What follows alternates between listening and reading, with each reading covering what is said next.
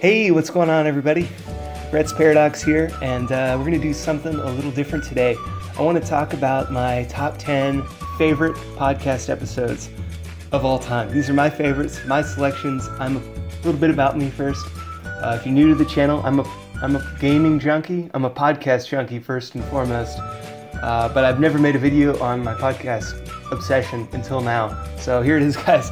I'm obsessed with podcasts. I listen all day long, every day, at work, working out, disc golf, driving. Even when I'm sleeping, I have podcasts playing. When I'm talking to people, I'm talking about podcasts at least 80% of the time. When I'm playing video games, boom, I play podcasts while playing. So, so that's like all I do with my life is podcasts and uh, work. Well, podcasts and what else I'm doing with the podcast at the time that I'm listening to the podcast. So, so guys, all right, all right, let's let's hop right into this. Number ten, my tenth tenth favorite podcast episode of all time is wait for it. Number 10 is Radiolab From Tree to Shining Tree. This podcast completely blew my mind. A forest can feel like a place of great stillness and quiet, but if you dig a little deeper, there's a hidden world beneath your feet, as busy and complicated as a city at rush hour. In this story, a dog introduces us to a strange creature that burrows beneath forests, building an underground network where deals are made and lives are saved and lost in a complex web of friendships, rivalries, and business relations.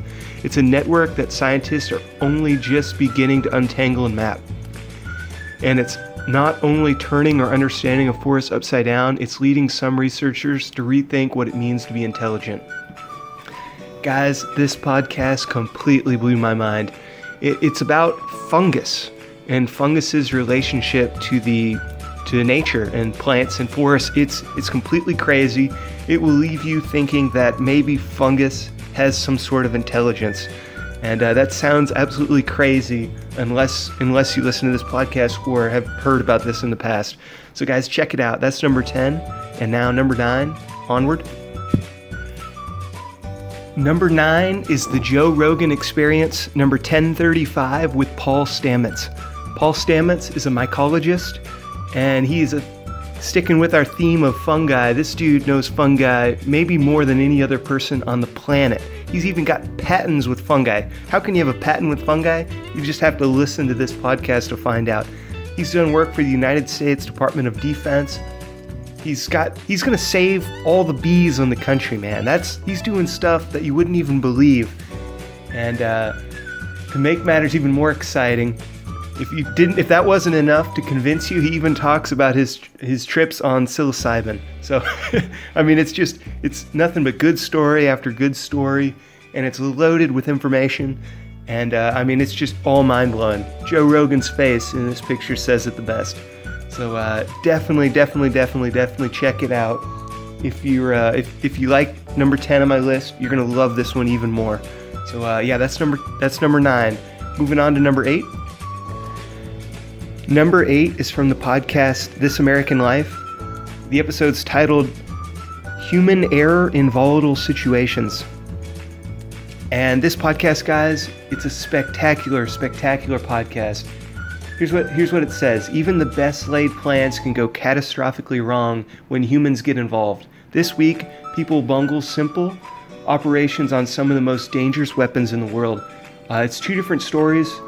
One is about uh, Navy naval accidents, naval boat accidents, and the other, the first act, is a story here. Just read this. Just listen to this, guys. In 1980, deep in a nuclear missile silo in Arkansas, a simple human error nearly caused the destruction of a giant portion of the Midwest.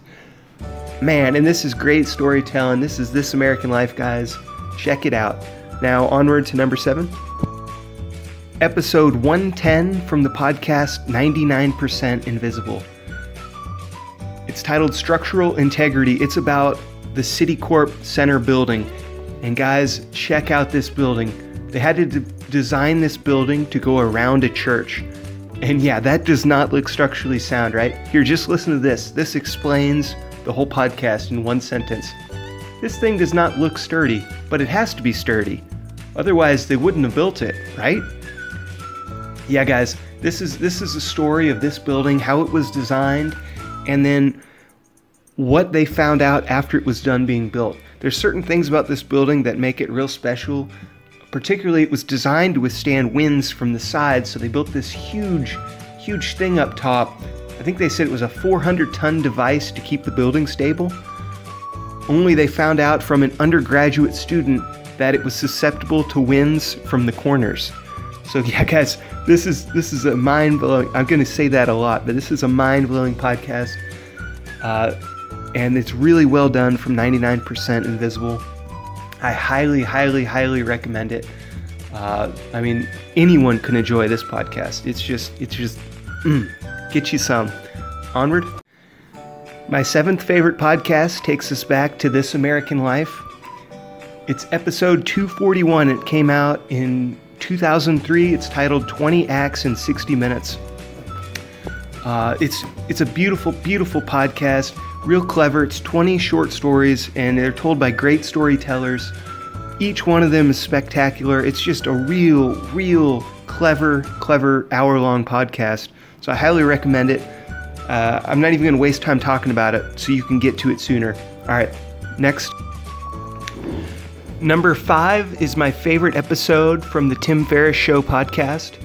It's number 108, The Scariest Navy SEAL I've Ever Met and What He Taught Me.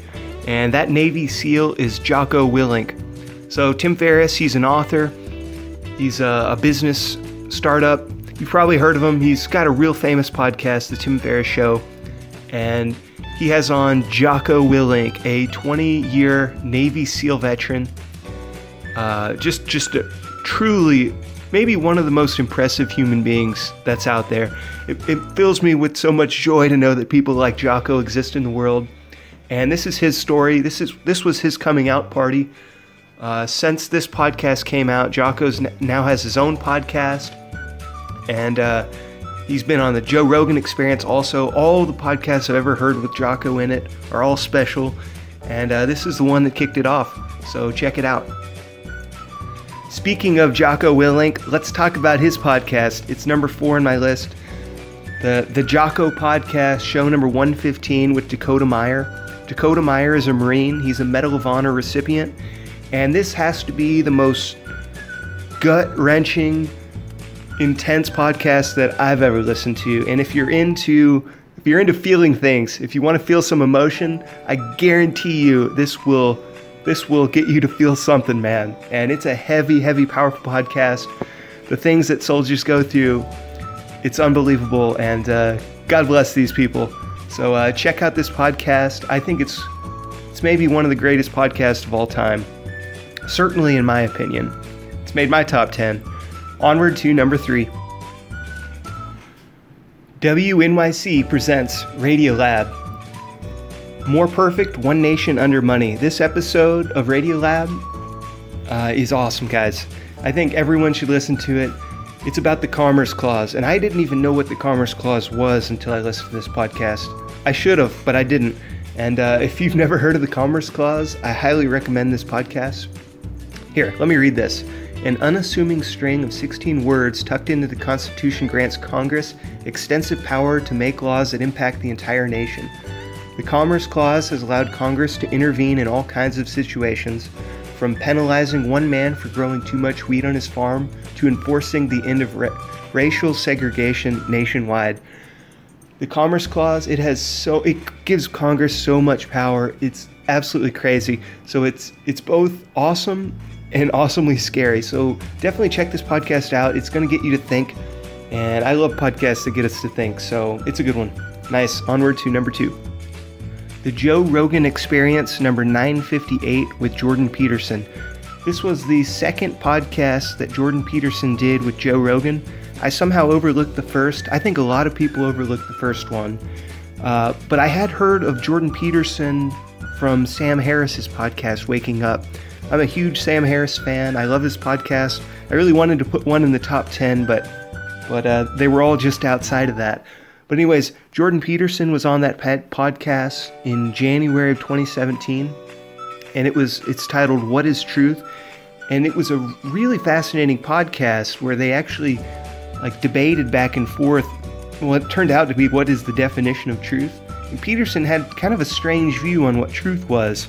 So I kind of I, I, could tell he was really smart from the podcast, but I didn't really know much more about him other than he has this weird opinion of what truth is. And then I saw him again on uh, the Joe Rogan experience. I thought, well, I guess I should check it out and see what this guy is really about. And uh, it starts off a little slow, but but it gets better and better and better as the podcast goes on. And it really felt like Jordan Peterson was speaking directly to me in this podcast. He talks a lot about chaos and archetypes and the hero's journey, and it just it all sounds so simple and basic, but he says it in a way that's so articulate and makes so much sense that you really feel it. And you feel you, you feel exactly what he's talking about. Like you've lived it, but you've never had the the words for it. And uh you know, maybe I'm just simple minded, but man, I love this podcast. It gets better and better as it goes on. If I've listened to, if I had to pick a podcast that I've listened to more than any other podcast, this would be it. It's a three hour long podcast. I've probably listened to it 20 hours at least. It's so good, especially the second hour, like the second, second half of it. You just, ooh, it's powerful. It's real powerful, guys. This is, this podcast might have changed my life, guys. The first thing I did is I, after listening to this, I got off work and I cleaned my room and I started to try and get my life on track. Because, uh, you know, I was just kind of floating around for a long time. And Peterson, his words just hit me so hard. It's like, man, I need to, I need to do something with my life. And this is this podcast did it. This was the one, and this turned me on to Jordan Peterson. I've listened to just about every single interview, every single piece of every podcast he's done, I've listened to every word that he's said online, thousands of hours probably in the past year. Uh, I became a huge Jordan Peterson fan from this podcast, so it has to make number two in my all time favorite list. Uh, I considered putting it number one, probably should have because it is that good. Coming in at number one on my list is Dan Carlin's Hardcore History. Show number 48, Prophets of Doom. Hardcore History is, in my opinion, the greatest podcast of all time. It, it's really more of an audiobook. Like they're like audiobook chapters. And Prophets of Doom, it's the shortest one. It's from his Blitz series, which which are one episode, uh, you know, all all encompassing episodes. But but it's a long one. I want to say it's like over four hours. But man, it's like a great great audiobook almost. Once you start it, you won't be able to stop. Prophets of Doom. Here, let me read this. Murderous millennial preachers and prophets take over the German city of Munster after Martin Luther unleashes a Pandora's box of religious anarchy with the Protestant Reformation. And this this story has everything that great stories have, and it's told by a master storyteller, Dan Carlin himself. And one thing that he really does that I love is he always has a concept woven into his stories. So like there's like a master theme that he's telling the story with, and he just it just comes full circle so many times. They're so good. They're so so so good. I can't even I can't even urge you enough to listen to this podcast if you haven't already. And he's got so many other good ones, but uh, most of his are series. So uh, like the like there's one series about Genghis Khan, and that's that's a really great one. A lot of his older stuff you have to buy. Uh, but his newer stuff, it's online for free. You could probably find this one on YouTube, Prophets of Doom, uh, or you can buy it on his website. But it is worth it. I I bought every single one of his podcasts, and this is one of the best ones, maybe the best one. It's number one on my list after all. Uh, it, you won't even believe the story. Like it just gets crazier and crazier. And this is real life, guys. This happened. This actually happened. This story. And uh, I don't want to spoil it, but check it out if you haven't give it a chance. I think once you listen to five minutes of it, you're going to understand what I'm talking about. This dude, he can tell stories like nobody else, and this is this is a fantastic story. So that's number one, guys. That's my top ten. I hope you enjoyed it. Let me know what you think. If you have uh, any other opinions, or if I missed some podcasts that you really like, leave a comment. I'd like to know what you guys think. I'm always looking for suggestions for podcasts. I'm constantly running out because I just keep listening to so many, and I have to listen to the same ones because I run out. So uh, yeah, give me some podcast suggestions, And uh, let me know what you think of my top 10. If you disagree, uh, I mean, well, you're definitely wrong if you disagree with me because it's my favorites, not yours. But uh, I'm just playing. I want to hear what you guys think. Uh, if you guys disagree, I'd like to know um, what you think I missed or what would have made your top 10. So uh, let me know. And uh, if you don't like the, if you, if I did, if this podcast is just, or if this YouTube video is just absolutely terrible, let me know that too, and I won't make any more.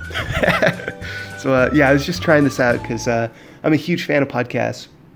I listen to them all the time, and uh, it's one of the things that I'm most passionate about. So I'm trying to do something with it and share my passion with other people. So there it is, guys. Brett's Paradox out.